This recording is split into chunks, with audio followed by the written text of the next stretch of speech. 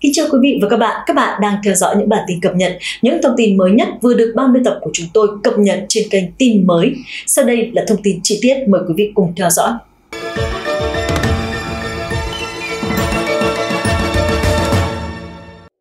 Theo đài CGTN, tuần qua con sông dài nhất Trung Quốc, sông Trường Giang đạt đỉnh lũ lần thứ 3 trong năm nay. Sau một tháng nước này hứng chịu nhiều trận mưa lớn, đập Tam Hiệp, đập thủy điện lớn nhất thế giới trên sông Trường Giang thuộc tỉnh Hồ Bắc cũng ghi nhận mực nước lên tới 149,97 m, tốc độ dòng lũ khoảng 53.000 m khối mỗi giây, đỉnh lũ đạt 56.000 m khối mỗi giây lúc 2 giờ chiều cùng ngày. Vì thế, đập Tam Hiệp đã mở 5 cửa xả lũ để giảm bớt tác động của lũ lụt đến vùng hạ lưu của sông. Trước đó, đập cũng mở 3 cửa xả lũ, giúp được kiểm soát tốc độ trung bình hàng ngày là 40.000 m khối mỗi giây. Đập Tam Hiệp là hệ thống điều khiển nước đa chức năng, bao gồm một con đập dài 2.309 m và cao 185 m, hệ thống khóa nước 5 tầng ở phía Bắc và phía Nam, được thiết kế đáp ứng được dòng chảy ngàn năm có 175.000 m khối mỗi giây. Lý giải về lũ trên sông Trường Giang, Tân Hoa xã trích lời ông Ninh Lỗi, Phó Giám đốc Cục Phòng chống thiên tai, lũ lụt và hạn hán của Ủy ban sông Trường Giang cho biết, so với các năm trước, mùa mưa đến sớm là một trong những nguyên nhân chính dẫn đến lũ trên sông Trường Giang.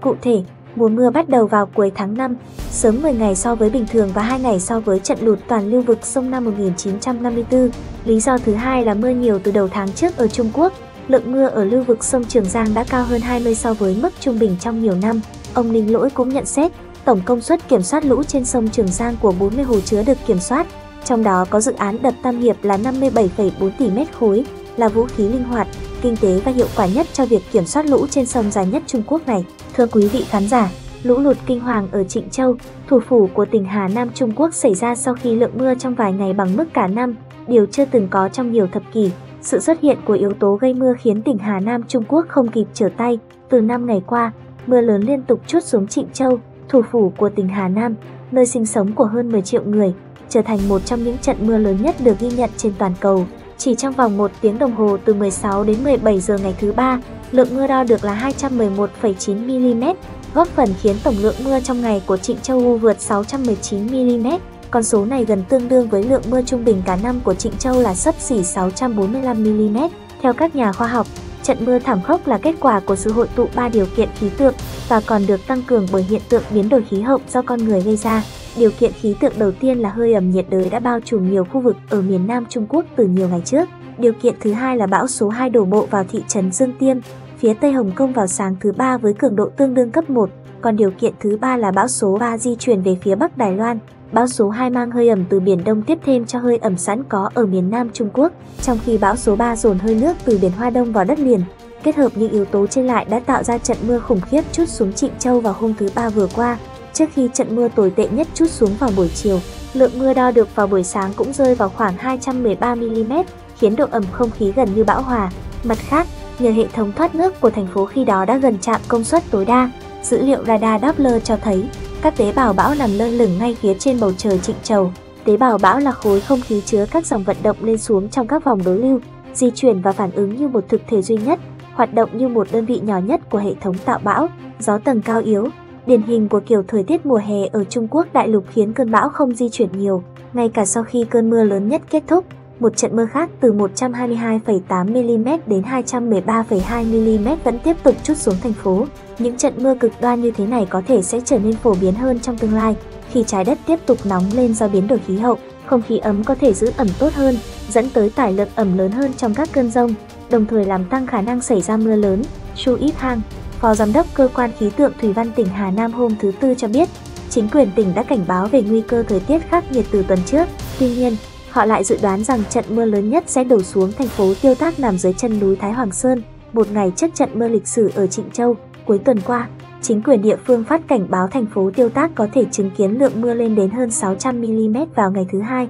nguy cơ gây ra lũ lụt lớn chưa từng có trong một thế kỷ. Các khu vực khác, bao gồm cả thủ phủ Trịnh Châu, cách tiêu tác chưa đầy 100 km về phía nam, cũng được dự báo hứng chịu mưa, song cường độ nhỏ hơn. Việc dự đoán thiếu chính xác về địa điểm hứng chịu lượng mưa lớn nhất góp phần khiến nhà chức trách Trịnh Châu không kịp trở tay ứng phó khi nước lũ đột ngột dâng lên. Chen Tào, trưởng ban dự báo thuộc Trung tâm Khí tượng Quốc gia Trung Quốc cho biết, nhà chức trách đã nỗ lực cải thiện khả năng dự báo thời tiết cực đoan của mình, song đây thực sự vẫn là một thách thức toàn cầu. Theo ông, các mô hình dự báo hiện tại hoạt động tốt trong điều kiện bình thường, nhưng không phát huy tác dụng với các hiện tượng thời tiết cực đoan. Ông cho biết có nhiều điều không chắc chắn trong các hiện tượng thời tiết khắc nghiệt, có thể ảnh hưởng đến độ chính xác của một dự báo. Các nghiên cứu trong quá khứ cũng cho thấy, lượng mưa là một trong những yếu tố khó dự báo nhất và hầu hết các nhà khí tượng học đều đồng tình rằng không thể dự báo lượng mưa sẽ chút xuống vào một giờ cụ thể trong một ngày nhất định nào đó. Theo một nghiên cứu được phòng thí nghiệm trọng điểm về thời tiết khắc nghiệt Trung Quốc thực hiện vào 5 năm trước, các cơ quan khí tượng nước này đã đưa ra dự báo mưa trong 24 giờ chính xác khoảng 15 trong năm 2008.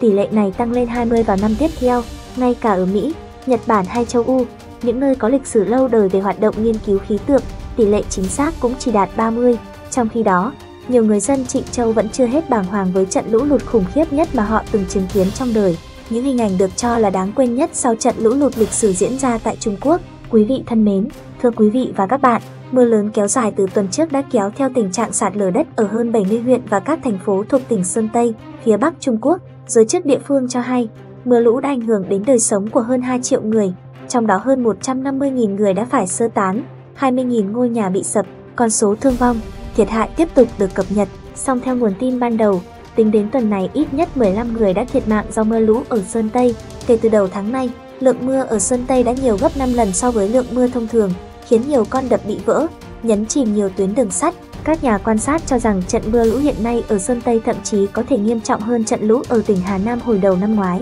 Tuần trước, lượng mưa trung bình ở thành phố Thái Nguyên, tỉnh Sơn Tây đã đạt khoảng 185,6mm so với lượng mưa chỉ khoảng 15mm vào tháng 10 giai đoạn từ năm 1981 đến năm 2010. Lực lượng cứu hộ đã tìm cách liên lạc với người dân trong vùng lũ, trấn an họ và cho biết, trẻ em, người già và phụ nữ được ưu tiên sơ tán trước. Mưa lũ cũng làm tê liệt hoạt động của khoảng 60 mỏ than ở tỉnh Sơn Tây, điều này càng gây sức ép lên nguồn cung năng lượng. Trong bối cảnh Trung Quốc đang chật vật đối phó với cuộc khủng hoảng thiếu điện, hàng loạt nhà máy, doanh nghiệp cũng phải tạm ngừng hoạt động. Theo báo cáo của Bộ Quản lý Khẩn cấp Trung Quốc, năm nay nước này đã chứng kiến nhiều đợt mưa lớn hơn so với thông thường. Tổng cộng trong khoảng thời gian từ đầu năm đến nay, gần 1.000 người đã thiệt mạng hoặc mất tích trong các thảm họa tự nhiên ở Trung Quốc. Vâng, thưa quý vị, theo Tân Hoa xã, nhà chức trách Trung Quốc đánh giá tình hình lũ lụt dọc sông Trường Giang năm nay là rất nghiêm trọng. Tính đến sáng ngày thứ Sáu tuần qua, đập Tam Hiệp hứng lượng nước đổ về đến 33.000 mét khối mỗi giây. Mực nước trong hồ chứa đã tăng lên mức 155,55 mét,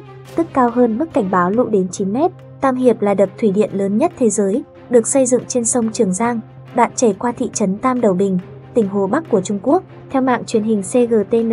đỉnh lũ thứ tư đang hình thành trên thượng nguồn sông Trường Giang và lượng nước đổ về có thể lên đến 60.000 mét khối mỗi giây vào tối ngày thứ Bảy. Trước đó, con đập đón đợt lũ thứ hai vào đầu tháng này. Công ty Tam Hiệp Trung Quốc, đơn vị phụ trách điều hành dự án đập Tam Hiệp thông báo, nhà máy thủy điện Tam Hiệp bắt đầu hoạt động hết công suất 22,5 triệu kW từ ngày hôm thứ năm tuần trước. Cơ quan quản lý gần đây phải giảm lượng xả lũ của đập Tam Hiệp vì lũ lụt nghiêm trọng tại các vùng hạ nguồn đập. Giới chức Trung Quốc cho biết, hồ chứa tại đập Tam Hiệp có thể có trữ lượng nước lên đến 39,3 km3 và mực nước trong hồ có thể cao đến 175 mét. Thượng nguồn sông Trường Giang được dự báo sẽ có lũ trong những ngày sắp tới do mưa lớn. Một số nhà phân tích được truyền thông nước này dẫn lời nhận định rằng đỉnh lũ vào cuối tháng này đầu tháng sau sẽ là bài kiểm tra thật sự cho đập Tam Hiệp và hệ thống ứng phó thảm họa chung. Từ đầu tháng trước, ít nhất 195 người chết hoặc mất tích do lũ lụt, gần 42.000 người bị ảnh hưởng và hơn 2,6 triệu người sơ tán tại Trung Quốc, theo Reuters. Chiều thứ Bảy mực nước hồ chứa đập Tam Hiệp ở Trung Quốc đang vượt mức cảnh báo hơn 10 mét, hướng dòng nước đổ vào với lưu lượng trên 55.000 mét khối trên giây. Trước đó, Tân Hoa xã dẫn thông báo từ công ty Tam Hiệp cho hay, vào lúc 8 giờ sáng ngày thứ Sáu, đã Tam Hiệp hướng lượng nước đổ về với lưu lượng 35.000 mét khối trên giây. Mực nước trong hồ chứa khi đó đã tăng lên mức 156,6 mét, khi đó đã tăng lên mức 1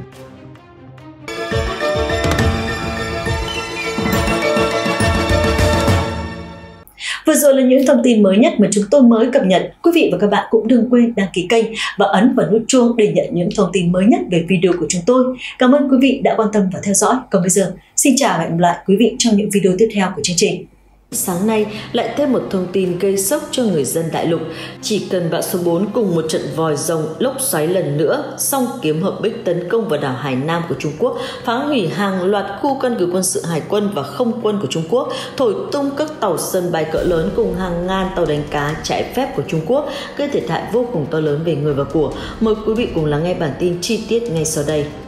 Dẫn lời Taiwan News ngày hôm nay đưa tin, vào lúc 5 giờ 15 phút sáng nay theo giờ địa phương, cơn bão số 4 sau khi quần thảo các tỉnh miền Nam thì bất ngờ quay đầu tiến về đảo Hải Nam của Trung Quốc. Dường như không hẹn mà gặp, cơn vòi rồng lốc xoáy từ ngoài biển Đông cũng ập vào ngay sau đó khoảng 45 phút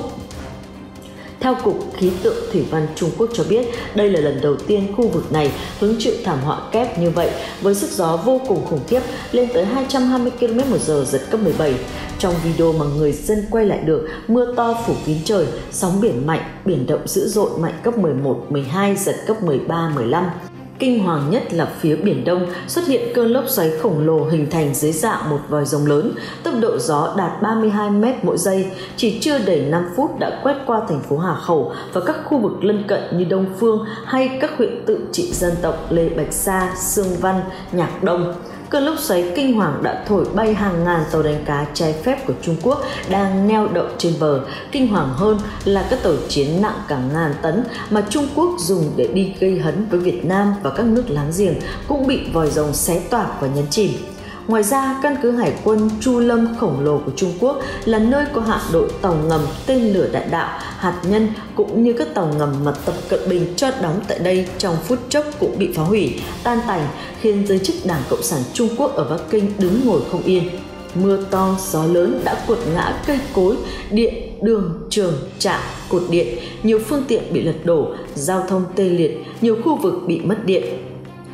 trong video chúng ta có thể nghe được tiếng gió rít mạnh sờn cả gai ốc. Theo thống kê bước đầu, đã có 130 người chết, hơn 180 người bị thương, nhiều ngôi nhà bị hư hại, nhiều địa điểm du lịch, resort và khách sạn sang trọng ở khu vực này cũng trở thành hoang tàn. Nhiều thiết bị viễn thông bị hư hại và một số khu vực bao gồm cả bệnh viện cũng bị mất điện. Cảnh tượng ngổn ngang không khác gì ngày tận thế. Cũng trong sáng nay, các lực lượng cứu hộ đã tiến hành sơ tán khẩn cấp 850.000 người dân đến nơi an toàn toàn vì biển động quá mạnh tạo thành những cơn sóng cao đến 5 mét. Cơ quan chức năng cùng một số người dân đã tiến hành chất hàng bao cát để đắp đê chống sóng biển tràn vào. Cũng theo cơ quan khí tượng Hải Nam cho biết, tuy nơi này trước đó cũng từng trải qua hai cơn bão mạnh, nhưng thiệt hại do siêu bão số 4 và vòi rồng lúc xoáy này đổ bộ cùng lúc gây ra thiệt hại rất nặng nề. Bởi đây là cơn bão mạnh với sức hủy diệt lớn nhất đổ bộ vào hòn đảo này trong một thập kỷ qua. Sức gió vào thời điểm bão đi qua giật mạnh với vận tốc 185 đến 226 km một giờ,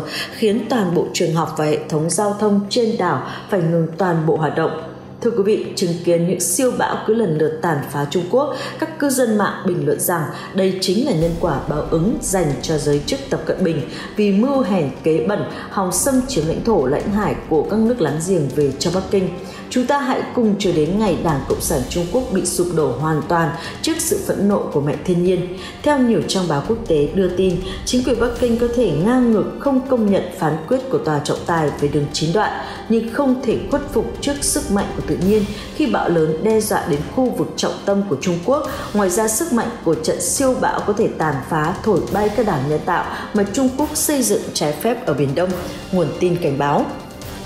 Nguồn tin cũng nhấn mạnh rằng những tai nạn thảm khốc do thiên nhiên gây ra thời gian qua đang là nỗi ám ảnh, giáng mạnh vào tham vọng bành trướng lãnh thổ cũng như là bá chủ của Trung Quốc tại khu vực Biển Đông. Đây là nơi Trung Quốc đã xây dựng trái phép căn cứ quân sự và đã đặt trận địa tên lửa đất đối không. Diễn biến cũng như hướng di chuyển tiếp theo của cơn bão này chúng tôi sẽ nhanh chóng cập nhật và gửi đến cho quý vị trong những bản tin kế tiếp.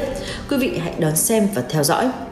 Kính thưa quý vị, xoay quanh thông tin chấn động liên quan đến những lời nguyền tử huyệt bắt đầu ám ảnh đất nước Trung Quốc khi chính quyền Đảng Cộng sản Trung Quốc bất chấp hủy hoại tất cả, thậm chí chặt đứt long mạch ngàn đời Trung Hoa để cho xây dựng lên siêu đập tai ương tam hiệp, chỉ để thỏa mãn tham vọng về những cái gọi là vĩ đại nhất. Tuy nhiên, đằng sau sự thỏa mãn đó là những mất mát không thể tính hết, đặc biệt là dáng vô số tai họa thảm khốc xuống đầu người dân đại lục kể từ khi con đập này mới chỉ nằm trên bản vẽ và những tai họa như thế tăng cấp một cách cực đoan theo thời gian và những lời quyền siêu đậm đang hiện rõ trong thời gian gần đây khi hàng loạt sự vụ lạ lùng như kiểu chiêu ngươi của thế lực siêu nhiên xảy ra cho con đập nước Tam Hiệp.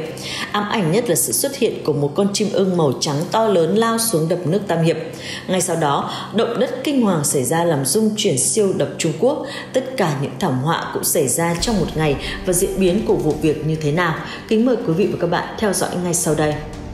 Theo thông tin mà người dân Nghi Sương, Hồ Bắc kể lại, mới vừa qua, người dân còn hốt hoảng vây quanh đập thủy điện Tam Hiệp để chứng kiến hàng chục vòi rồng khổng lồ xả xuống hút cạn đập nước Tam Hiệp trước sự ngỡ ngàng của nhiều người. Thì trong 7 giờ sáng ngày hôm nay, người dân nơi đây lại phải tròn mắt chứng kiến dòng nước lũ ầm ầm lao tới như một con quái vật. Điều này đã khiến cho ban quản lý con đập phải quyết định xả lũ, thông báo trước để ngăn chặn việc con đập bị vỡ. Người dân địa phương cho biết chỉ có Thánh mới biết được chuyện gì đang xảy ra cho Trung Quốc và cả con đập Tam Hiệp thời gian gần đây. Toàn những điều kỳ lạ mà con người không thể nào lý giải được. Theo thông tin cho biết thêm, trận siêu lũ cùng mưa to trăm năm có một sau sự xuất hiện của vòi rồng trở nên vô cùng hung hãn khi làm ngập nhiều nơi phía dưới hạ lưu, gây ra những mất mát về người và của không thể đong đếm được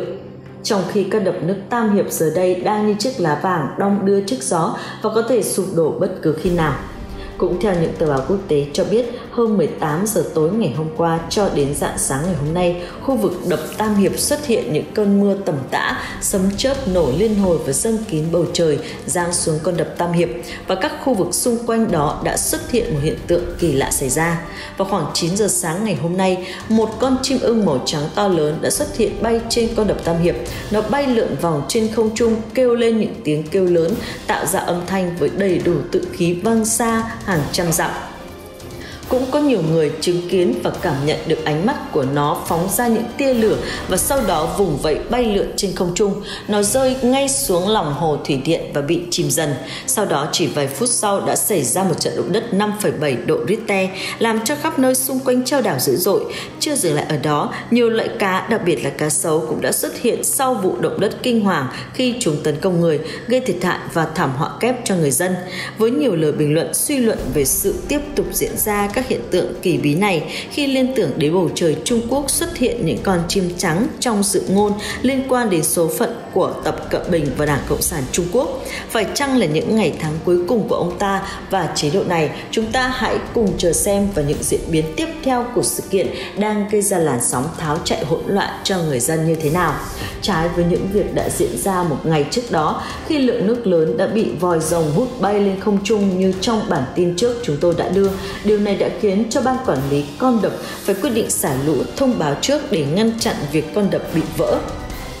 Lúc này đã xuất hiện những mảng nước hình thành trên con đập, trong lúc các khu dân cư sống ở vùng hạ lưu không hề biết được hành động của ban quản lý, cũng như chưa lường trước hết những thảm họa đang rình rập chờ đón họ ở phía trước. Theo CCTV thì một lượng nước đổ về con đập Tam Hiệp ở mức 53.000 mét khối trên giây và đúng như dư luận đã nói, người tính không bằng trời tính, cái gì đến rồi cũng sẽ đến. Những gì xảy ra vào ngày hôm qua và dạng sáng nay chỉ là sự tiếp nối trong một chuỗi các sự kiện xảy ra trong thời gian dài vừa qua và ứng nghiệm với nhiều lời tiên tri dự đoán từ hàng ngàn năm trước có liên quan đến sự tồn tại và số phận của con đập Tai Ương, tai tiếng này khi nó được cho là gắn liền với sự tồn vong của chế độ toàn trị của Đảng Cộng sản Trung Quốc. Được biết vì quá hoảng sợ là do tính mạng bản thân thì nhiều người dân đại lục một lần nữa bất chấp những rào chết biên giới và sự canh gác cẩn mật của quân đội các nước để tìm đường tháo chạy sang các nước như là Việt Nam, đảo Đài Loan. Nhiều nguồn tin từ Bộ đội Biên phòng Việt Nam giáp với Trung Quốc cho biết ngay biên giới tỉnh Vân Nam giáp với Việt Nam đông đảo người dân Trung Quốc chủ yếu sống dưới chân đập Tam Hiệp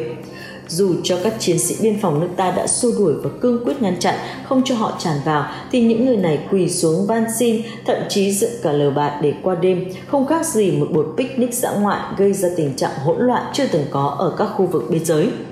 theo thông tin được chiến sĩ chốt chặn cho biết, nhiều người đã trở nên phấn khích liều lĩnh đối đầu với những lính chốt chặn nước ta để xâm nhập bằng được vào lãnh thổ nước Việt Nam và đã bị bộ đội ta bắn thương khi cố xâm nhập vào lãnh thổ của Việt Nam. Hiện tại thì đại diện chính quyền Hà Nội đã gọi điện cho các vị lãnh đạo Trung Quốc yêu cầu đưa công dân của mình ở biên giới trở về nhằm tránh cuộc xung đột không đáng có sẽ phát sinh. Những mâu thuẫn ngoài mong muốn và những đám con dân Trung Quốc này đang chờ đợi chính quyền Bắc Kinh đưa ra hướng xử lý.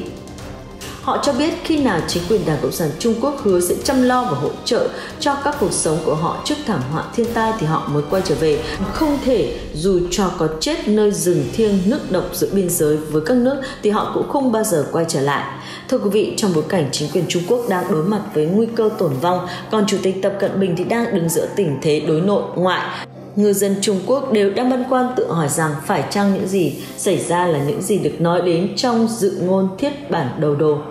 Ông Vương kể lại rằng vào năm 1951, trong lớp của họ có một cậu bạn học tên là Lý Mỗ, cha của Lý là một tú tài đời nhà Thanh. Trong nhà ông ấy có một cuốn thiên thư tên là Thiết Bản Đồ, tiên đoán vận mệnh sau cùng của các triều đại. Hơn nữa, lại tiên đoán vô cùng chuẩn xác, vậy nên các triều đại lịch sử đều liệt nó vào hàng sách cấm. Tuy vậy, nó vẫn được lưu truyền bí mật ở dân gian, ông Vương nói. Những tấm hình khác thì nhóm chúng tôi không mấy để tâm lắm, mà chỉ tập trung vào tấm hình sau cùng.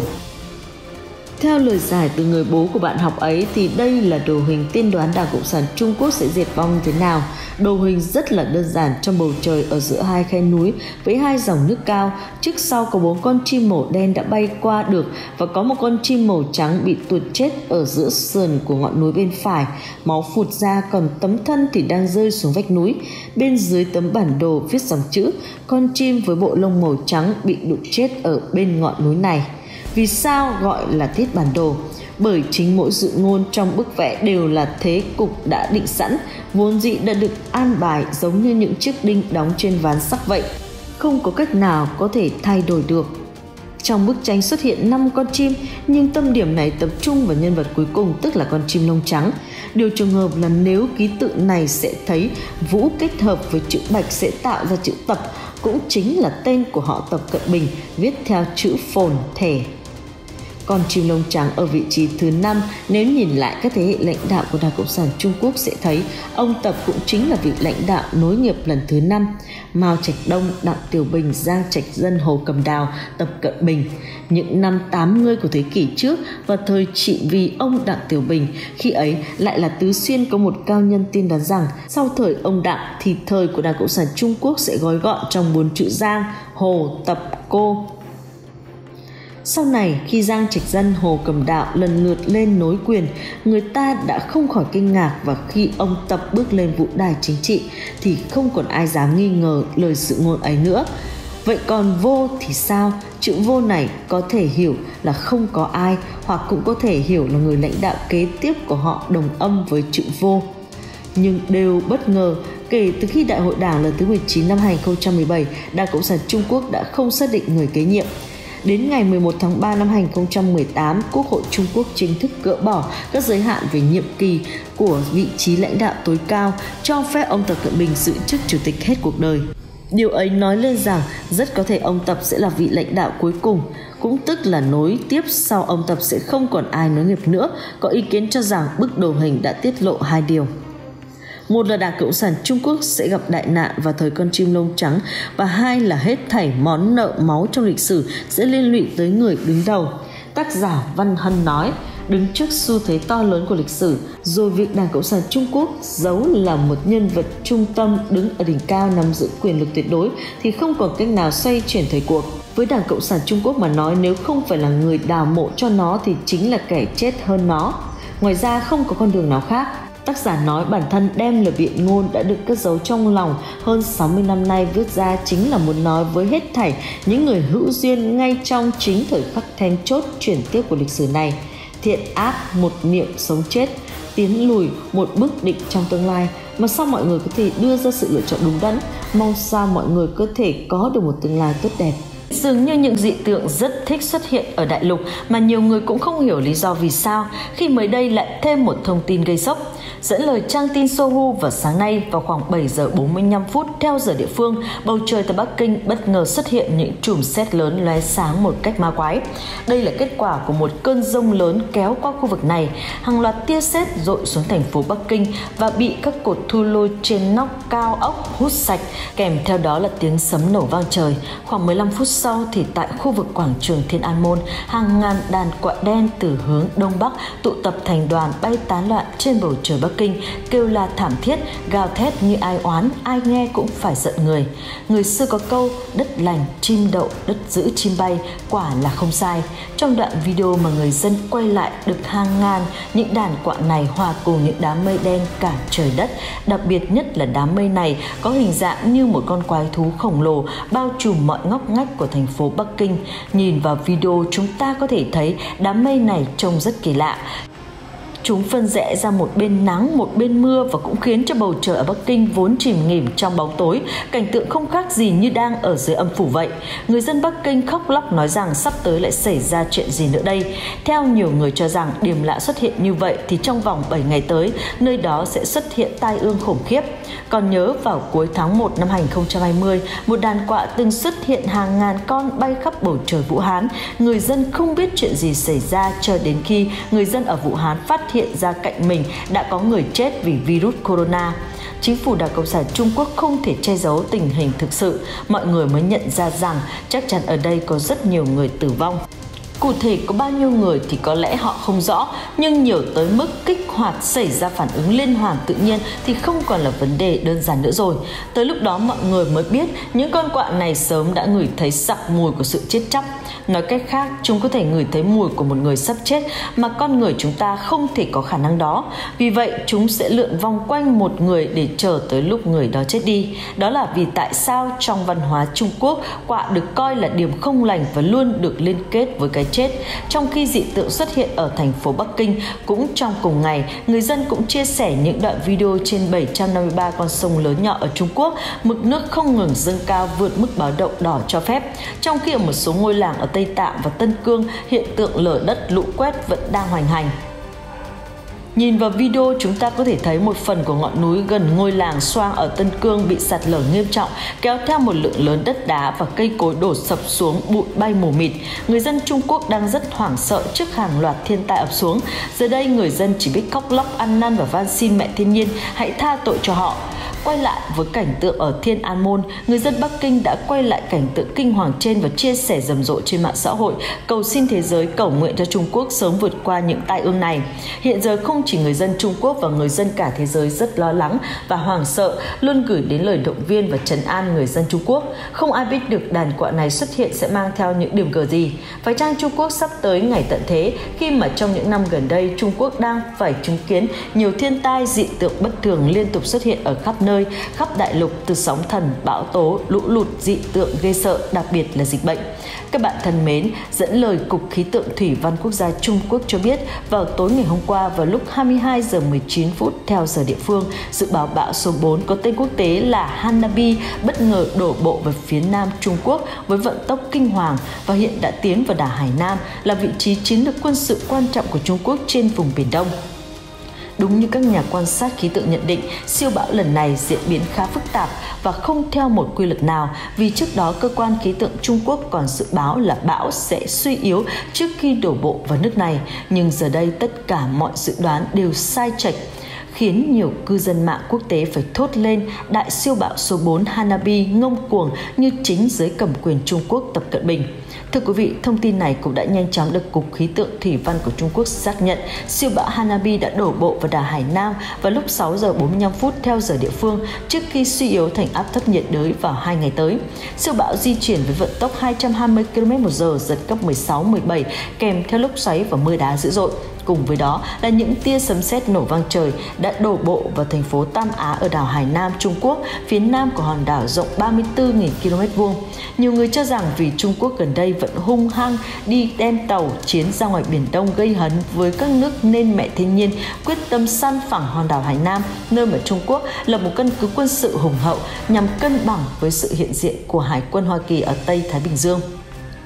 Đặc biệt, phải kể đến đội tàu ngầm trực thuộc hạm đội Nam Hải của nước này, cũng như hỗ trợ về mặt hậu cần và quân sự cho công cuộc xâm chiếm biển đảo của các nước láng giềng. Đây chính là nguyên nhân vì sao mẹ thiên nhiên buộc phải ra tay trừng trị Trung Quốc. Thông tin trên đã gây chấn động cho giới chức Tập Cận Bình.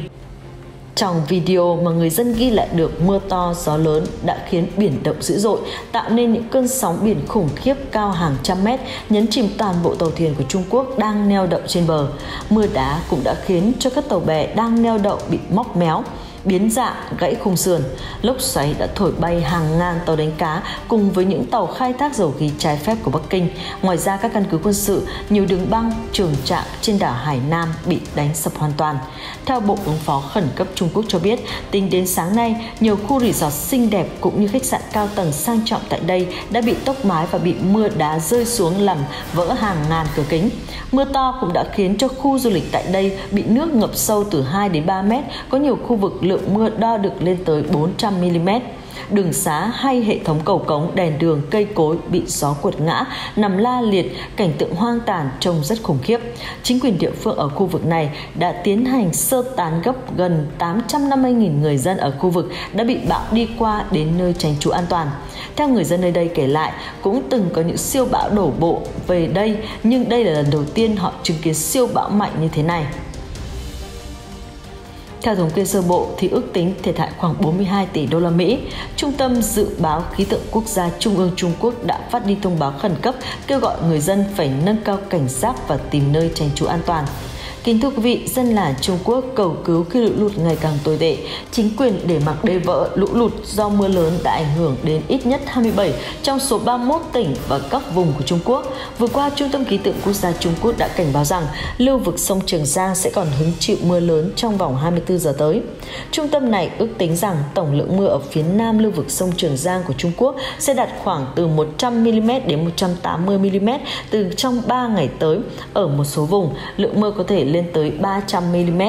Trung tâm cũng cảnh báo rằng các khu vực phía Bắc của Trung Quốc như Tây Tạng, Tân Cương, Thanh Hải, Cam Túc, Nội Mông, Bắc Kinh, Thiên Tân, Liêu Ninh và Hắc Long Giang sẽ có mưa lớn vào hai ngày tới.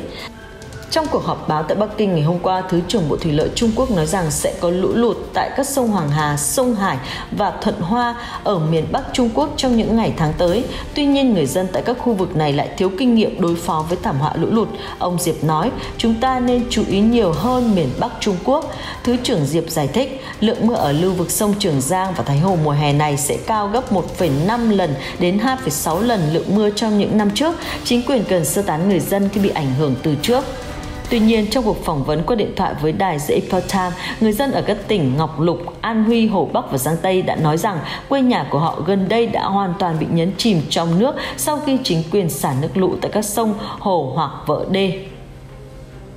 Mặc dù vậy, chính quyền không hề có phương án hỗ trợ người dân thích hợp. Người dân cho biết một cư dân với bí danh Wang Min sống ở làng Winchan nằm ở thành phố Đồng Lăng thuộc tỉnh An Huy phía đông của Trung Quốc. Dòng sông Trường Giang chảy qua làng này. Hôm vừa qua, ông Wang Min nói với đài The Epoch Times rằng ông và dân làng bị buộc rời khỏi quê nhà vốn ở gần một con đê nhỏ trong ngày hôm đó. Ông Wang cho biết chính quyền đã từ bỏ những khu vực đê nhỏ hơn để bảo vệ những khu vực đê lớn hơn. Ngoài ra, việc không gia cố bờ kè để mặt đê vỡ một cách tự nhiên hoặc bằng cách phá vỡ đê thủ công, họ để mặc mặt nước lũ từ sông Trường Giang tràn qua đê. Và ngày hôm đó hơn 12.000 người phải rời khỏi nhà cửa ở Đồng Lăng, ông Quang nói. Hầu hết trong số họ không có nơi nào để đi và hiện đang chờ đợi lũ lụt giảm bớt tại các nhà tạm trú. Ông Quang cho biết các nhà tạm trú thiếu mọi thứ nước uống, nhang xua đuổi côn trùng, áo mưa, đèn pin và lều. Ông nói thêm rằng chính quyền thậm chí không cung cấp cho dân làng đủ thực phẩm. Nhiều người dân lo lắng rằng tài sản của họ sẽ bị lũ cuốn trôi. Gia tộc Yu sống tại làng Hu Đông thuộc huyện Bà Dương, tỉnh Giang Tây, phía đông Trung Quốc. Ba thế hệ của gia đình sống chung với một mái nhà. Làng Hu Đông và hàng chục ngôi làng khác trong huyện đã bị nước lũ nhấn chìm sau nhiều lần vỡ đê. Giới chức tuyên bố rằng họ đã sơ tán người dân bị ảnh hưởng nhưng gia đình Yu vẫn bị mắc kẹt trong nhà của họ. Lũ lụt hiện vẫn chưa rút khỏi khu vực này. Trao đổi với The Epoch người cha cho biết ngập lụt ở khắp mọi nơi, chúng tôi không thể đi ra ngoài và chúng tôi thật sự cần thực phẩm. Người ông nội giải thích nước lũ đã cao đến tầng 2 ở làng Hu Đông. Ông Giang là cư dân sống tại làng DC, cách làng Hu Đông khoảng 30 dặm Ông Giang và những người dân làng mình cũng bị kẹt trong tình trạng tương tự như gia đình Nhu. Ông nói ở làng tôi rất nhiều người mất nhà, nước lũ vẫn đang dâng cao, còn chính quyền thì đang xả nước lũ từ hồ Bà Dương. Nước lũ đã đạt đỉnh ở thành phố Vũ Hán thuộc phủ tỉnh Hồ Bắc, miền Trung Trung Quốc vào lúc 11 giờ đêm. Chính quyền thành phố Vũ Hán thông báo một người dân tại làng Wangju thuộc quận Thái Điền của thành phố đã gửi một đoạn video tới The Epoch Times. Trong đó, ông nói rằng tất cả dân làng đã buộc phải sơ tán vào lúc 5 giờ sáng vì chính quyền sẽ xả nước lũ từ sông Trường Giang vào khu vực làng của ông. Trong một đoạn phát sóng của đài truyền hình Trung Quốc CCTV, ông Chen Guiya, phó kỹ sư trưởng của Ủy ban Thủy lợi sông Trường Giang của Bộ Thể lợi Trung Quốc cho biết, scoop sông Trường Giang đi ngang qua tỉnh Hồ Bắc có thể đạt mức nước nguy hiểm trong 10 ngày tới. Trang web tin tức của chính quyền Vũ Hán là Trang Giang đưa tin rằng ngập lụt ở sông Trường Giang sẽ dẫn đến tình trạng hai đỉnh lũ liên tiếp, có nghĩa là một đỉnh lũ mới sẽ đến trước khi đỉnh lũ cũ đi qua.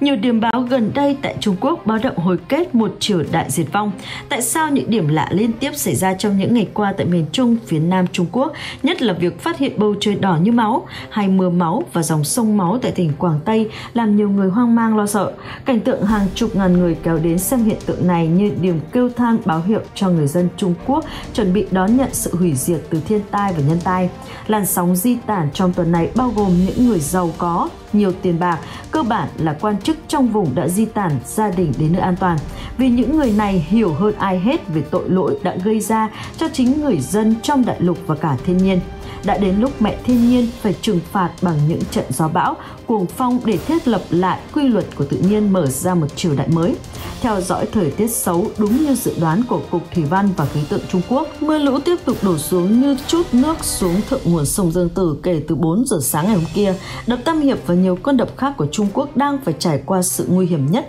kể từ khi chúng được các nhà lãnh đạo tại Bắc Kinh xây dựng. Theo nhiều bản báo cáo từ Trung tâm Khí tượng Thủy văn Trung Quốc, mưa lũ sẽ kéo dài sang hết tháng 7 năm 2022. Tình trạng lũ lụt sẽ hướng theo chiều hướng tiêu cực khi nhiều tỉnh thành của Trung Quốc người dân không có lối thoát để thoát ra khỏi vùng tâm lũ. Tuy nhiên, theo số liệu báo cáo của chính quyền thì 700.000 người dân Trung Quốc đã được khẩn cấp đưa đi sơ tán. Đây là sự bất nhất giữa chính quyền và người dân. Ở bên ngoài Trung Quốc, người ta cũng không thể phân định người dân nói đúng hay chính quyền nói đúng. Tờ Taiwan News của Đài Loan thì đưa tin tình hình mưa lũ và đập Tam Hiệp xả nước đã khiến cho hàng triệu dân trong tình trạng khốn khổ, họ không có lối thoát ra khỏi vùng tâm lũ. Chính quyền không có sự hỗ trợ đắc lực nhất cho người dân. Kính thưa quý vị, một sự thật không thể chối cãi là có rất nhiều người dân đang mắc kẹt trong vùng tâm lũ, có rất nhiều video được đăng tải lên mạng xã hội sau đó đã được xóa đi. Hành động này là do phía an ninh mạng của Trung Quốc đã cố tình không cho thế giới bên ngoài biết sự thật tình trạng của người dân vùng lũ đang trong vòng khốn khó như thế nào có rất nhiều các cơ quan tổ chức của thế giới đã lên tiếng chỉ trích chính quyền Trung Quốc đã cố tình giấu nhẹm các thông tin về tình trạng này. Tuy nhiên, phía Trung Quốc vẫn phớt lờ lời cảnh báo của những tổ chức này. Tờ Hoàn Cầu Thời báo số ra ngày hôm nay còn cho rằng nhiều tổ chức nước ngoài đã cố tình tham gia vào việc nội bộ của Trung Quốc. Trung Quốc là một nước lớn và có đủ khả năng giải quyết vấn đề trong nước, không cần bất cứ cá nhân hay tổ chức nào nhúng tay tham gia, góp ý vì sự việc đó chỉ làm phức tạp thêm tình hình mà thôi. Kính thưa quý vị, cũng liên quan tới sự cố độc Tam Hiệp và mưa lũ miền Nam Trung Quốc, thời gian gần đây có rất nhiều thông tin và thống kê bịa ra là từ chính quyền Trung Quốc ra bên ngoài. Những thống kê này đều cho thấy sức chịu đựng của đập Tam Hiệp không còn được bao lâu khi lượng nước mưa vẫn kéo dài ở thượng nguồn sông. Người dân Trung Quốc thật sự lo âu vì họ cho rằng chính quyền Trung Quốc cố giấu giếm những con số thống kê thật sự bởi họ không còn tin vào Đảng Cộng sản Trung Quốc. Trước đó, sự cố động đất tại huyện Dực Nhĩ Cái, tỉnh Tứ Xuyên và tỉnh Quý Châu cũng đã củng cố cho suy nghĩ của họ về ngày tàn của đập Tam Hiệp đã đến gần. Theo như chính quyền Trung Quốc nói rằng, chuyện động đất xảy ra hàng năm là chuyện rất tự nhiên của thiên nhiên, nhưng người dân Trung Quốc không tin vào những gì phía chính quyền đưa ra từ trước. Cũng theo nhiều nguồn tin của người dân cho biết thêm rằng, những trận động đất liên miên xảy ra cách nhau chỉ có 7 giờ đồng hồ là điểm báo trước con đập Tam Hiệp sẽ vỡ. Tất cả những điều này đều có liên quan mật thiết với nhau. Một sự kiện khác gây chấn động trong dân chúng Trung Quốc cách đây ít ngày cũng đã củng cố những suy nghĩ của người dân rằng con đập Tam Hiệp chắc chắn sẽ vỡ. Cách đây khoảng 15 ngày, tại rừng núi huyện Uy Ninh, hôm nào người dân cũng nghe thấy tiếng âm thanh lạ. Tiếng âm thanh này xuất phát vào buổi trưa cho đến buổi chiều và thậm chí là cả vào ban đêm. Những âm thanh lạ này phát ra rất lớn, vang vọng đến cả 10 km, người ta vẫn nghe thấy. Người dân ở các nơi trên nhiều miền của Trung Quốc đã đổ xô về đây để nghe những những âm thanh lạ này, người dân Trung Quốc thì tin vào thiên thời địa lợi cho rằng đây là địa long trở mình, báo hiệu những thiên tai khủng khiếp sẽ xảy ra. Có người lại cho rằng đây là tiếng kèn của sáu vị thiên sứ báo hiệu tai ương sắp ập đến đã được ghi chép trong cuốn Kinh Thánh. Một số ý kiến thì cho rằng đây là tiếng than khóc của những oan hồn bị chết dưới tay ác đảng Trung Cộng nhưng nếu nghe kỹ hơn chúng ta có thể phân định thứ âm thanh đó là một âm thanh của một con quái vật to lớn đang khóc âm thanh nó nghe vừa đau đớn vừa thảm thiết xen lẫn sự dữ dội tột cùng. Như quý vị đã chia sẻ trên thước video ngập tràn trên mạng xã hội, đúng là con quái vật to lớn này, nó đang khóc, nó đang bị ai đó làm tổn thương nhưng nó không thể nào chống đỡ được. Nó giận dữ và gào thét trong tuyệt vọng, nhưng chắc chắn con vật này phải to lớn kinh khủng lắm. Tiếng khóc của nó nghe ai oán thê lương vang vọng cả hết núi rừng. Ngay cả trong phim ảnh thì các nhà lãnh đạo từ xưa đến nay cũng không thể ghi âm được một thứ âm thanh to lớn đến như vậy. Cũng không có âm thanh nào rùng rợn như âm thanh của con vật đang phát ra tại núi rừng Uy Ninh, Trung Quốc. Kính thưa quý vị, sau cả 15 ngày con vật huyền bí kia ở rừng núi Uy Ninh kia than khóc thì không một ngày nào mà rừng núi này vắng bóng người dân hiếu kỳ đến nghe tiếng con rồng này khóc. Những thước video quay cảnh người dân Trung Quốc kéo nhau nườm nượp lên những ngọn núi. Nhiều người cho rằng nó đã xuất hiện ở đây ngay trước mặt chúng ta, nhưng mọi người không thể nhìn thấy nó vì nó là một con vật linh thiêng của trời đất. Người trần mắt thịt không thể nào nhìn thấy được vì người dân Trung Quốc ngày nào cũng đổ dồn về rừng núi Uy Ninh, cộng thêm những lời bàn tán về con rồng đang ngày đêm tăng tốc thì chính quyền Trung Quốc cho rằng đây là chuyện mê tín dị đoan. Họ quyết tâm xóa bỏ chuyện này vì Đảng Cộng sản Trung Quốc là đảng vô thần, họ không chấp nhận trên đất nước của họ có một vị thần thánh nào, cũng như sự hiện diện của những điểm gở báo trước. Một lực lượng lớn công an và quân đội Trung Quốc đã vào cuộc điều tra, tuy nhiên họ cũng chẳng thể tìm ra nguyên nhân. Nhiều nhà khoa học cũng tò mò đến tận nơi khu rừng, đường núi này Họ nghe rõ âm thanh của một loài động vật to lớn đang gầm giống thảm thiết, nhưng họ cũng bó tay. Nhà khoa học nổi tiếng nghiên cứu về duy vật học và tâm linh học tên là Wang Yuhong đã đáp chuyến bay từ Bắc Kinh về đây. Ông ở đây suốt từ ngày 28 tháng 5 và cho tới ngày hôm nay để nghiên cứu âm thanh kỳ lạ này. Trước lúc trở lại Bắc Kinh vào buổi sáng thì ông đã trả lời với phóng viên báo chí tại hiện trường rằng, tôi chắc chắn là một con quái vật to lớn đang khóc Tiếng rên la đau đớn của nó khiến ai cũng phải đau nhói lòng. Tôi không thể khẳng định đó là con vật gì, nhưng chắc chắn đó không phải là con chim cứu vàng nhỏ bé như chính quyền đã nói.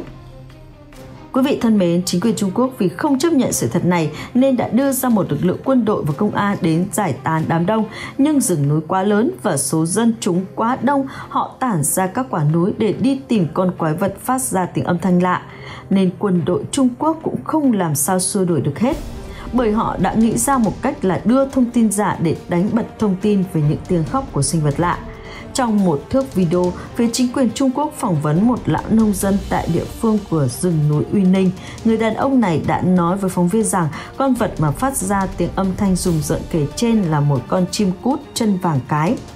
Loại chim này thường về rừng núi Uy Ninh này vào mùa hè vì chúng sinh sản, chúng chỉ to hơn con chim sẻ một chút nhưng tiếng kêu của nó có lực Bằng thước video trên, chính quyền Trung Quốc muốn xua đuổi hết người dân thập phương đến đây đông như kiến để tìm hiểu những tiếng kêu thảm thiết của loài động vật bí ẩn này. Thế nhưng khi đoạn video này phát tán trên mạng, không có bất cứ người Trung Quốc nào tin đây là sự thật nhiều video sau đó đã đăng tải lên mạng Trung Quốc phản hồi rằng một con chim cút nhỏ xíu không bằng cả nắm tay mà phát ra tiếng kêu rung động cả núi rừng xa đến cả 10 km thì con chim đó chỉ là con chim thần. Hơn thế nữa, loài chim này sống ở tất cả các nước châu Á. Nếu nó kêu to như vậy thì ở Việt Nam, Malaysia và nhiều nước khác, người ta cũng nghe được tiếng âm thanh này. Tại sao khắp đất nước Trung Quốc chỉ mỗi rừng núi Uy Ninh nghe nó kêu? Và chỉ có năm nay nó mới kêu, còn những năm về trước sau nó không kêu.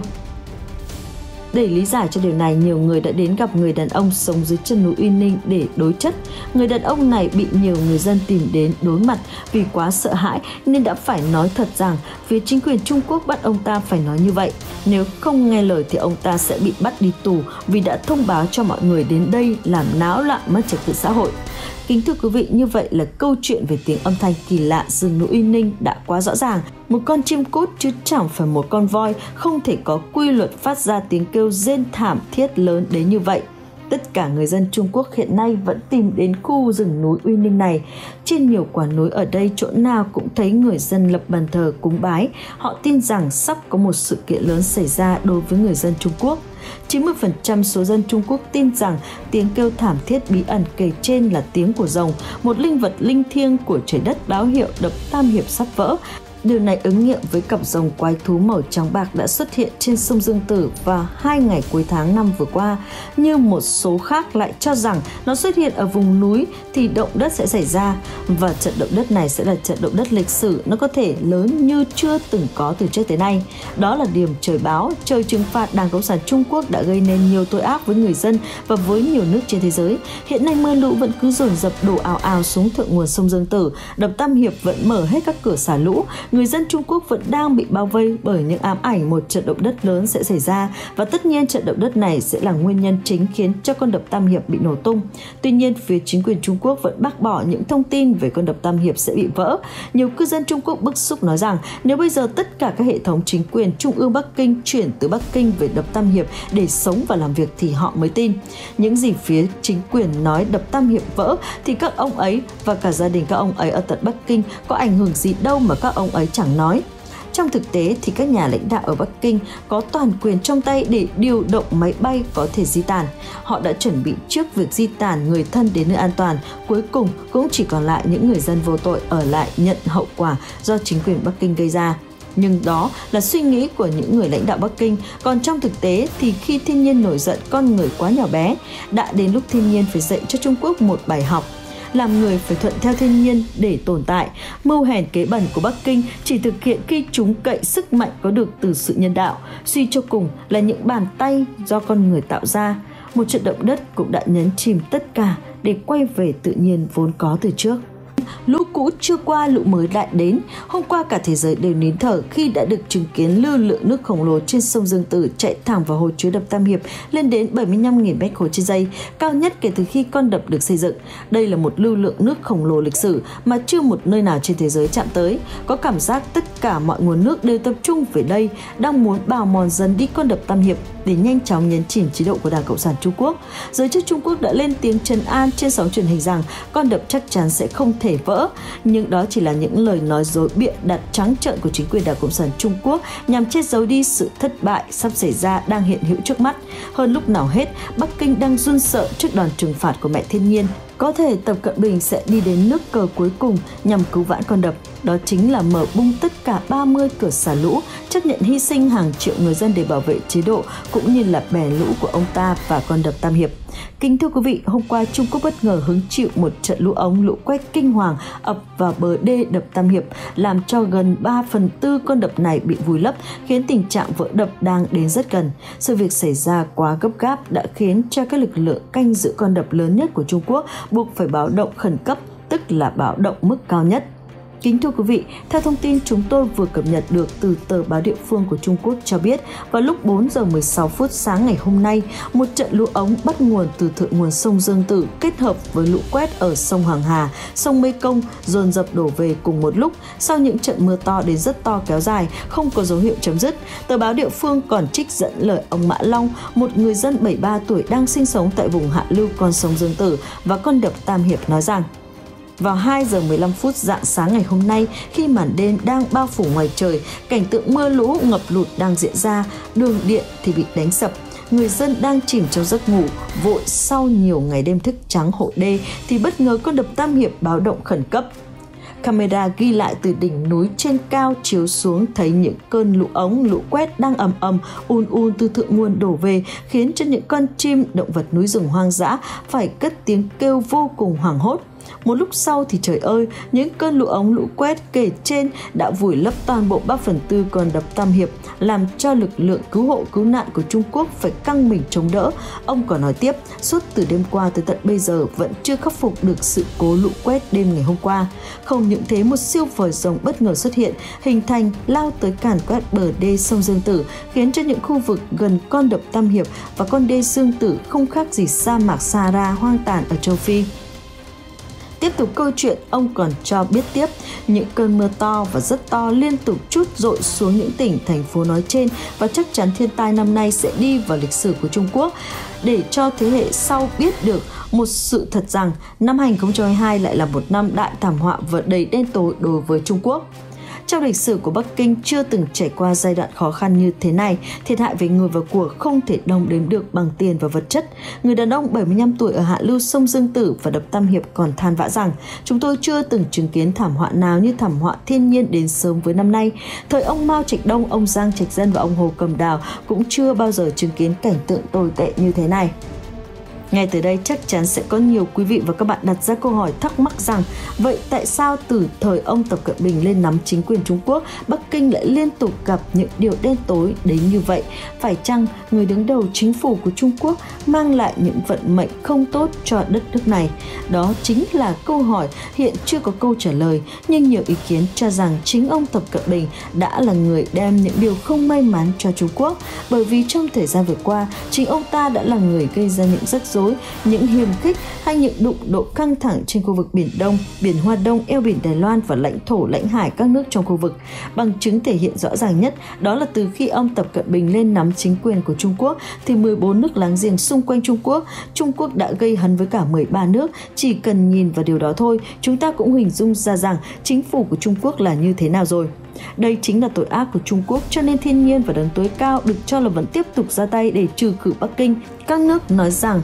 Trung Quốc đang bị trừng phạt bởi mẹ thiên nhiên và đấng tối cao, quả đúng là không sai. Bất kể những ai mà làm những điều trái với lương tâm, trái với luân thường đạo lý và đi ngược lại với an ninh an toàn của thế giới thì đều bị trừng phạt. Nhưng tất cả đều cầu mong đấng tối cao hãy sáng suốt che chở và bảo vệ cho những người dân vô tội trước dòng lũ dữ. Chỉ mong sao nước lũ nhấn chìm bẻ lũ vô thần, vô độ đang an sung mặc sướng ở Bắc Kinh. Chính những kẻ này mới là khởi sự căn nguyên của tất cả các tội ác của đất nước Trung Quốc, có thể kể đến như lão già Tập Cận Bình, người phát ngôn Bộ Ngoại giao Hoa Xuân Oánh chứ những người dân của Trung Quốc chỉ bị chính quyền Đảng Cộng sản Trung Quốc dắt mũi mà thôi. Kính thưa quý vị, có thể nói rằng mưa lũ suốt hơn một tháng vừa qua đã làm cho nhiều tỉnh thành của Trung Quốc ngập chìm trong biển nước và câu hỏi đặt ra rằng liệu Trung Quốc đang gặp những vấn đề u ám đen tối như thế thì Tập Cận Bình có xin từ chức và nhường chỗ cho ai đó hay không? Xin thưa với quý vị rằng điều đó chắc chắn sẽ không bao giờ xảy ra bởi vì ông Tập Cận Bình được cho là người quá tham lam, tham lam nhất trên thế giới. Ông không chỉ tham quyền cố vị, ông ta còn luôn nuôi tham vọng muốn đưa Trung Quốc đại lục trở thành ngôi vương trên thế giới, vượt qua Mỹ và Nga. Đây chính là nguyên nhân vì sao mà trong suốt thời gian dài vừa qua, ông ta luôn muốn chiếm trọn Biển Đông về tay của Bắc Kinh bởi vì ông lý giải rằng Biển Đông có một vị trí địa chính trị cực kỳ thuận lợi cho Trung Quốc. Nó chính là lá chắn quân sự, là nguồn cung cấp tài nguyên thiên nhiên dầu khí cũng như thủy hải sản cho Bắc Kinh một nước mà có dân số lớn nhất trên thế giới và muốn đưa Trung Hoa đại lục trở thành giấc mộng Trung Hoa, trở thành siêu cường quốc tế thì đầu tiên ông ta phải chiếm được Biển Đông. Đây chính là ước nguyện của người đứng đầu Đảng Cộng sản Trung Quốc, ông Tập Cận Bình. Chính vì vậy mà quân đội của Bắc Kinh trong thời gian dài vừa qua liên tục đem tàu chiến, máy bay ném bom ra ngoài Biển Đông để can quét uy hiếp các nước trong khu vực hòng cướp được Biển Đông. Tuy nhiên các nước trong khu vực cũng như cộng đồng trên toàn thế giới trong đó có các nước lớn như Mỹ, Anh, Pháp Pháp, Đức, Nhật Bản, Nga và Việt Nam liên tục ra tay trừng trị Trung Quốc nếu không Biển Đông đã thuộc về Bắc Kinh rồi. Kính thưa quý vị, ông Tập Cận Bình được cho là không những muốn chiếm trọn Biển Đông mà ông ta còn muốn chiếm giải núi cao nhất trên thế giới Himalaya nổi tiếng của Ấn Độ và cũng là dãy núi nổi tiếng trên thế giới. Ông còn đem quân đội của Bắc Kinh đi xâm chiếm dãy núi rồng vàng của Triều Tiên. Ngoài ra, ông Tập Cận Bình còn muốn chiếm đảo Senkaku của Nhật Bản ở vùng biển Hoa Đông và tất cả những tội lỗi đều do lòng tham của ông Tập Cận Bình gây ra. Đây là lý do vì sao mà nhân quả báo ứng cũng như nghiệp quật đang đổ lên đầu của ông Tập Cận Bình. Ông ta phải hứng chịu những tội lỗi của mình gây ra. Đây chính là nguyên nhân vì sao mà gần 90 ngày đêm vừa qua, Trung Quốc liên tục hứng chịu những trận mưa to gió lớn, bão táp mịt mờ. Các chuyên gia thủy văn của thế giới còn cho biết, trong thời gian tới Trung Quốc còn tiếp tục đón nhận những điều tồi tệ, đau thương mà thiên nhiên đang ập đến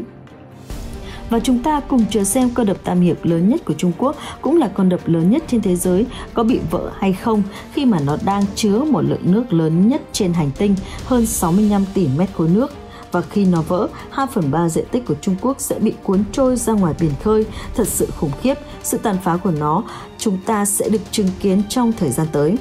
Kính thưa quý vị, có thể nói rằng mưa bão liên tục càn quét Trung Quốc trong những ngày vừa qua đã gây ra thiệt hại vô cùng to lớn cho chính quyền ông Tập Cận Bình. Mưa bão đang xảy ra là hoàn toàn có thật chứ không phải là chuyện hư cấu. Rất nhiều quý khán giả nghe nhiều tin về mưa bão trong suốt thời gian vừa qua đã lên tiếng nói rằng hoàn toàn là chuyện bịa đặt và hư cấu và những người nào ghét Trung Quốc thì mới ám chỉ điểm mưa bão đến như vậy. Nhưng thực tế thì mưa bão đang diễn ra một cách hết sức chân thật. Hôm qua, tờ báo Bưu điện Hoa Nam, cơ quan công luận của Đảng Cộng sản Trung Quốc cho biết lũ lớn đã đe dọa di sản thế giới tới 1.200 năm tuổi. Tờ báo của Trung Quốc nêu chi tiết như sau, lũ lụt trên thượng nguồn sông Dương Tử ở Trung Quốc buộc các nhà chức trách phải sơ tán hơn 100.000 người và người ta nói rằng cầu mong Việt Nam mở cửa biên giới để cho những người Trung Quốc sang để tránh trú. Dòng nước lũ cũng đang đe dọa một di sản lên tới 1.200 năm tuổi, đó là di sản mang tên tượng Phật khổng lồ Lạc Sơn hay còn gọi là Lạc Sơn Đại Phật cao tới 71 mét di sản của thế giới đã được UNESCO công nhận ở tỉnh Tứ Xuyên,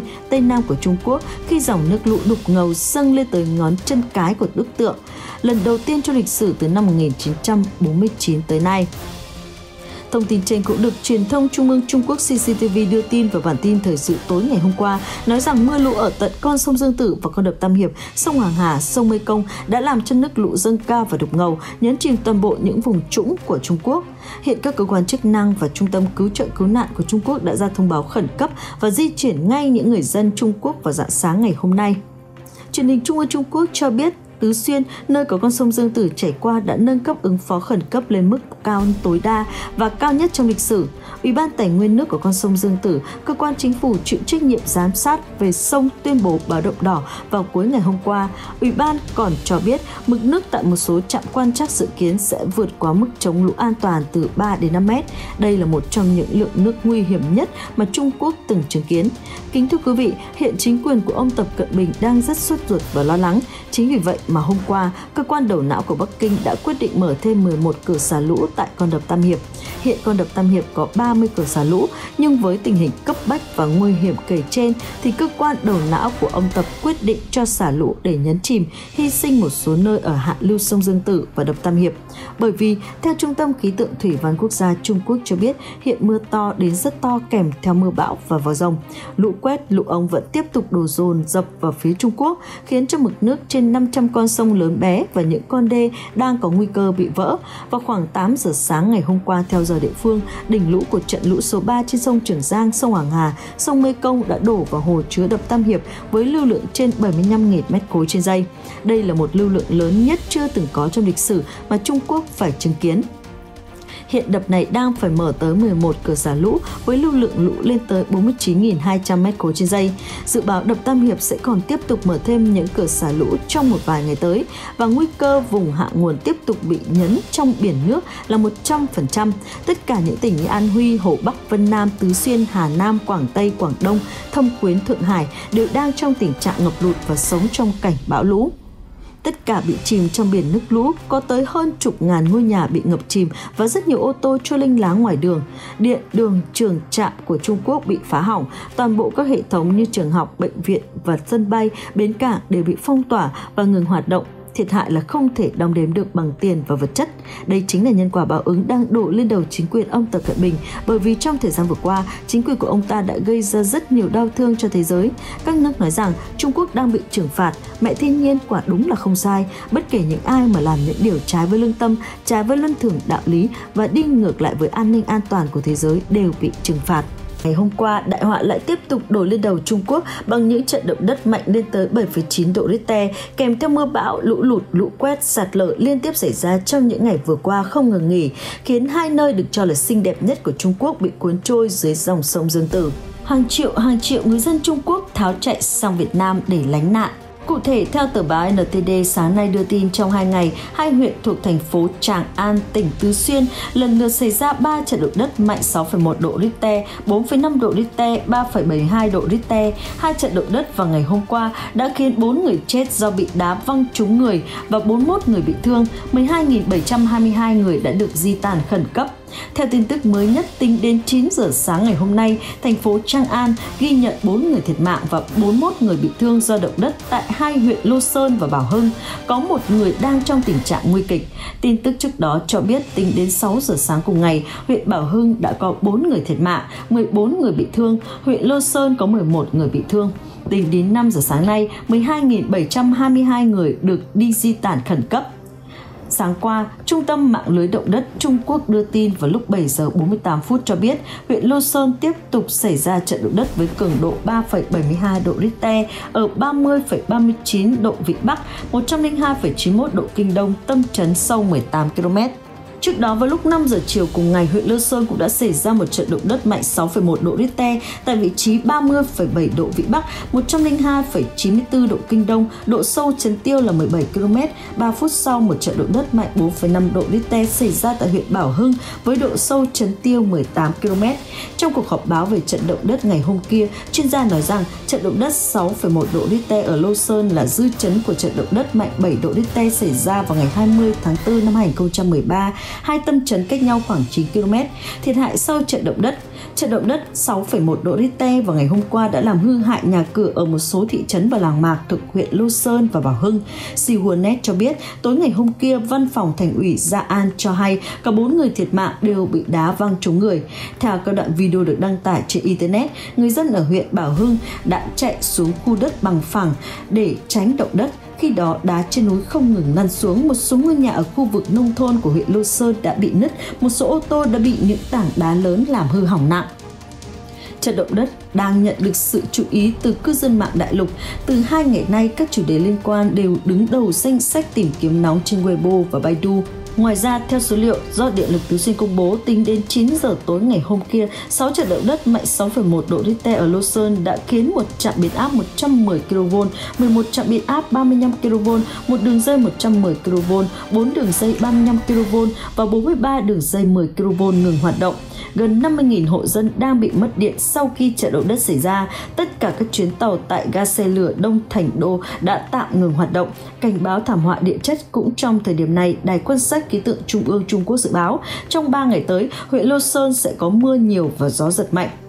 Trước tác động của các trận mưa và động đất, địa phương cần chú ý đến thảm họa địa chất như sạt lở núi, sụt lún. Thưa quý vị, truyền thông nhà nước Trung Quốc sau bao ngày im hơi lặng tiếng, tuy nhiên vào tối ngày hôm qua, truyền thông của nước này đã buộc phải công khai một sự thật rằng mưa to, gió lớn, ngập lụt, lũ quét, lũ ống, sạt lở, cộng thêm động đất sông Hằng đã nhấn chìm và cuốn trôi hai địa điểm được cho là xinh đẹp và tuyệt vời nhất của Trung Quốc, đó là Tứ Xuyên và Hồ Nam. Ngoài ra, lũ trên các sông ở thượng nguồn đổ về đã gây ra cảnh ngập lụt trầm trọng ở một số địa danh nổi tiếng, đặc biệt là địa danh mang tên Phượng Hoàng Cổ Trấn, một trong những địa danh có niên đại lên đến 2.000 năm tuổi, nổi tiếng ở Trung Quốc và trên thế giới, nhưng hôm qua nó đã bị lũ lụt nhấn chìm trong biển nước. Kênh truyền hình Trung ương Trung Quốc CCTV còn cho biết sau bao ngày chịu đựng những cơn mưa lớn kéo dài không ngớt, sông Dương Tử hay còn gọi là sông Trường Giang của Bắc Kinh sau khi lần đầu tiên trong lịch sử đã phát ra thông báo hồng thủy số 3, tức là trận lũ thứ 3 trên sông Trường Giang,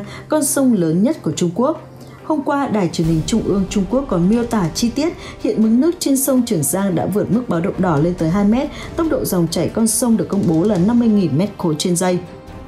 một trong những tốc độ dòng chảy lớn nhất thế giới. Hiện nhiều tuyến đê bao trên con sông này đã bị vỡ, khiến lượng nước tràn về khá nhanh, ngập toàn bộ các tỉnh như Tứ Xuyên, Hồ Nam, khiến cho khu danh lam thắng cảnh nổi tiếng của Trung Quốc mang tên Phượng Hoàng Cổ Trấn bị nhấn chìm trong nước lũ. Thiệt hại hiện tại không thể đong đếm được bằng tiền, nhưng theo các nhà quan sát cho biết, trên thế giới chưa có một ai và một nước nào ra tay cứu giúp Trung Quốc, không phải vì tính chất nhân đạo mà là do cách sống, cách đối thoại, đối ngoại của người đứng đầu chính phủ Trung Quốc Quốc ông Tập Cận Bình trong thời gian vừa qua đã làm cho thế giới mất lòng tin. Các nhà quan sát cho rằng chỉ cần nhìn vào 14 nước láng giềng với Trung Quốc thì nước này đã đi gây gổ, gây hấn, dùng vũ lực cướp bóc và xâm chiếm lãnh thổ tới 13 nước xung quanh tự hỏi rằng có ai có nước nào dám kết thân và chơi với cả Trung Quốc nữa hay không. Đây chính là nguyên nhân vì sao mà Trung Quốc đang gặp hoạn nạn nhưng không có một ai và một nước nào ra tay cứu giúp bởi vì họ lo ngại rằng giúp đỡ Trung Quốc xong họ lại quay ra cắn lại thì biết làm sao. Thưa quý vị, theo các nhà quan sát cho biết, cơ quan đầu não và quan chức trong chính phủ của ông Tập vẫn ung dung ủ mưu ủ kế đi gây hấn xâm chiếm Biển Đông bằng chứng rõ rệt nhất là trong khi đất nước của họ đang bị lũ lụt, lũ quét, động đất, sóng thần thì chính quyền của ông Tập Cận Bình đã phát động cho hải quân của nước này ngang nhiên mang rất nhiều tàu chiến, tàu hải cảnh, máy bay ném bom, máy bay chiến đấu mang theo vũ khí hạng nặng tiến hành tập trận bắn đạn thật quanh quần đảo Trường Sa của Việt Nam, bất chấp luật pháp quốc tế và bất chấp chỉ trích các nước trong khối ASEAN. Ngay lập tức chính phủ Mỹ đã lên tiếng phản đối chính phủ Trung Quốc khi nói rằng Bắc Kinh đã quá tham lam và vô độ khi không lo ứng cứu cho người dân trong lúc hoạn nạn đang xảy ra mà còn nghĩ kế đi xâm chiếm Biển Đông. Hành động trên của Trung Quốc được cho là thiếu tính nhân đạo và thiếu tính người. Phát biểu trên tờ báo Shihe News, một quan chức cấp cao trong Bộ Quốc phòng của Mỹ cho rằng lẽ ra chính phủ của Trung Quốc nên dồn toàn lực vào công cuộc phòng chống đại dịch và thiên tai lũ lụt để giúp đỡ cho những người dân thường vô tội. Nhưng ở đây chính quyền của ông ta lại không làm điều đó. Họ bỏ mặc dân chúng, lũ về, mưa về, họ mặc kệ cả động đất xảy ra thì họ cho xả đập Tam Hiệp, nhấn chìm toàn bộ 26 tỉnh thành phía nam của Trung Quốc. Vậy mà chính quyền của ông ta lại đi ngang như xâm chiếm Biển Đông và đi gây gổ đánh nhau đậm máu với cả Ấn Độ. Hành động trên quả là không thể chấp nhận và dung tha được. Đây chính là tội ác mà chính quyền ông Tập gây ra. Cho nên bây giờ trời không dung, đất không tha. Mẹ thiên nhiên và ông trời luôn công bằng với tất cả mọi người khi đã ra tay trừng trị Trung Quốc để bảo vệ thế giới. Hiện tại không một ai và không một nước nào thân thiết với chính quyền của ông Tập cả bởi vì những điều ông ta gây ra tội lỗi cho thế giới là không thể nào mà tha thứ. Họ chỉ thương tiếc cho 1,4 tỷ người của Trung Quốc mà thôi. Thưa quý vị, thông qua tờ báo Hoa Nam, cơ quan ngôn luận của Đảng Cộng sản Trung Quốc cho biết động đất liên tục xảy ra ở thượng nguồn đập Tam Hiệp. Điều này đã làm cho giới chức của Trung Quốc vô cùng lo lắng. Hiện Bắc Kinh đang ăn không ngon ngủ không yên vì thiệt hại thiên tai và dịch bệnh đang tàn phá nặng nề báo của Trung Quốc trích dẫn lời của một lãnh đạo trong ngành thủy văn của nước này cho biết trong hai ngày, hai trận động đất có cường độ cao lên đến 8 độ Richter liên tiếp xảy ra tại thành phố Tứ Xuyên và Quý Châu thuộc thượng lưu sông Dương Tử có thể gây ảnh hưởng tiêu cực đến con đập Tam Hiệp. Còn trung tâm mạng lưới động đất của Trung Quốc mang tên CENC cho biết trận động đất tại Tứ Xuyên có cường độ 8 độ Richter đã xảy ra vào dạng sáng ở độ sâu 8 km dưới lòng đất. Tiếp đó, một cơn địa chấn mạnh 6 độ Richter đã làm rung chuyển huyện Khánh Dương thuộc tỉnh Quý Châu vào trưa ngày hôm qua. Lúc 11 giờ 11 phút, được biết hai trận động đất liên tục này đã gây ra sóng thần và mức độ của nó lên đến 40 mét, cao hơn tòa nhà 10 tầng, nhấn chìm toàn bộ Tứ Xuyên, Vân Nam, Vũ Hán và một nơi địa danh nổi tiếng của Trung Quốc mang tên Phượng Hoàng Cổ Trấn. Hiện rất nhiều thương tiếc cho khu vực du lịch khét tiếng này của Trung Quốc bởi nó đã tồn tại được 2.000 năm tuổi, nhưng hôm kia nó đã bị nhấn chìm với mực nước sâu khoảng 10 mét. Hiện hiện tượng động đất liên tiếp xảy ra tại thượng nguồn sông Dương Tử, nơi con đập Tam Hiệp được xây trên dòng chảy đã khiến nhiều người quan chức của Trung Quốc lo ngại rằng nếu tình trạng này còn tái diễn thì một số con đập nhỏ hơn con đập Tam Hiệp ở thượng nguồn sông Dương Tử có nguy cơ bị vỡ và như vậy nó sẽ tạo ra một phản ứng dây chuyển domino khiến cho con đập Tam Hiệp có thể sụp đổ bất kỳ lúc nào. Nếu như nó vỡ nó sẽ cuốn trôi 2 phần 3 diện tích của Trung Quốc ra ngoài Biển Đông. Tất cả các làng mạc, các thành phố lớn và các nơi sầm uất, trung tâm kinh tế bậc nhất của Trung Quốc sẽ bị san phẳng. Trung Quốc nhiều khả năng sẽ bị xóa sổ ra khỏi bản đồ trên thế giới. Như vậy, chính quyền ông Tập Cận Bình đang rất sốt ruột ở thủ đô Bắc Kinh. Hiện giới chức nước này đang ăn không ngon ngủ không yên vì hiện tượng động đất, lũ quét, sóng thần thần sạt lở xảy ra hầu như toàn bộ 26 tỉnh miền Nam của nước này. Đứng trước những thảm họa nguy hiểm đến như vậy, Trung Quốc đã tiến hành kích hoạt phản ứng chống lũ lụt đập Tam Hiệp. Con đập này ngày hôm qua đã mở thêm một cửa xả nữa, đó chính là cửa xả số 4. Như vậy, tổng số cửa xả mà con đập Tam Hiệp hiện đang mở là 4 chứ không phải 2 như những tin đồn trước đây. Truyền thông của Trung Quốc đã ra cảnh báo lưu lượng nước đổ về hồ chứa đập Tam Hiệp đạt 50.000 mét khối trên giây, nhưng sau đó đã phải nhanh chóng sửa lại bởi vì lưu lượng nước đổ về rất nhanh, đạt mức 54.000 mét khối trên giây, một trong những lưu lượng nước trên thế giới chưa từng có trong lịch sử. Tỉnh Hồ Nam đã phát quần áo đón trực thăng dựng lại lán trại ở những ngọn núi cao Trang Nhân dân Nhật báo vào sáng ngày hôm qua đã đưa tin Trung Quốc từ tối ngày hôm qua đã cho khởi động khẩn cấp cấp độ 4 tức là cấp độ cảnh báo cao nhất nhằm phòng chống lũ khi mưa lớn dẫn đến mực nước sông dâng cao ở thượng nguồn sông Dương Tử. Ủy ban Thủy lợi sông Trường Giang vào sáng ngày hôm qua đã dự báo lưu lượng nước đổ về hồ chứa Tam Hiệp càng lúc càng nhiều, vì thế nguy cơ vỡ đập là rất lớn. Đứng trước tình thế cấp bách và nguy hiểm kể trên, chính quyền của ông Tập Cận Bình đã hô hào toàn quốc và người dân của Trung Hoa đại lục hãy khẩn trương chống lũ lũ, nhưng trong đó họ vẫn xả thêm một cửa xả lũ của đập Tam Hiệp. Điều này đã gây ra cho ngập lụt 26 tỉnh thành phía nam của Trung Quốc. Thưa quý vị, vào lúc 20 giờ tối ngày hôm qua, Ủy ban Chỉ huy Cứu nạn hạn hán lũ lụt quốc gia Trung Quốc đã khởi động phản ứng cấp độ đỏ nhằm phòng tránh lũ lụt kép, động đất và sóng thần. Thông báo cho khu vực liên quan đồng thời cử mấy tổ công tác cứu trợ Hồ Bắc, Hồ Nam, An Huy để hỗ trợ công tác chống lũ thiên tai mà các địa phương này đang gặp phải.